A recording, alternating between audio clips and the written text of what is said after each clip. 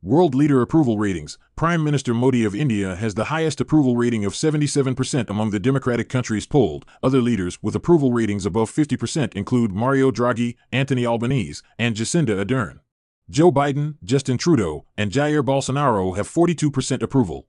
Then, in descending order, there's Pedro Sanchez, Alexander De Croo, Emmanuel Macron, Olaf Scholz, Mateusz Morawiecki, Mark Rutte, and Fumio Kishida, Yoon Suk Yeol, and Liz Truss, who's only at 16%. Like for more,